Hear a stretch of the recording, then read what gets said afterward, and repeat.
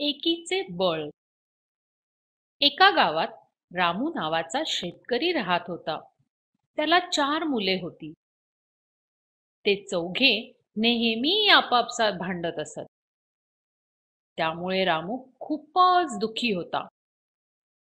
एके दिवशी त्याने चौघांना बोलावले. त्याने प्रत्येकाला एक छोटी काठी दिली. तो त्यांना म्हणाला ह्या काठीला तुम्ही तोडून दाखवा. एका पाठोपाठ एक प्रत्येक मुलाने काठी तोडण्याचा प्रयत्न केला व प्रत्येकाने ती काठी सहजपणे तोडली. आता रामूने काही काठ्या एकत्र बांधल्या. तो चौघांना म्हणाला आता तुम्ही ह्या एकत्र बांधलेल्या काठ्यांची मोळी तोडून दाखवा. प्रत्येक मुलाने काठ्यांची मोळी तोडण्याचा अतोनात प्रयत्न केला. परंतु कोणालाही त्या एकत्र बांधलेल्या काठ्यांना तोडणे शक्य झाले नाही. रामू म्हणाला ह्यावरून तुमच्या काही लक्षात आले का?